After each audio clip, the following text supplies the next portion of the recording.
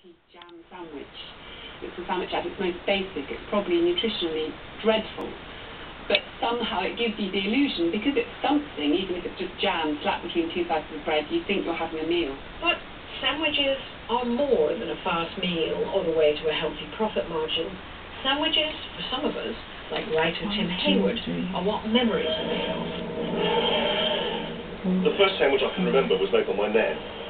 Corned beef and pickle with crusty white bread. Mm. Watching Doctor Who on a Saturday night. There's something about the salty meat and the huge doughy doorstep that still brings a lump to my throat after all these years. I remember cheese and grated onion, mm-hmm. blackcurrant jam on Hovis, and then I remember the picnics.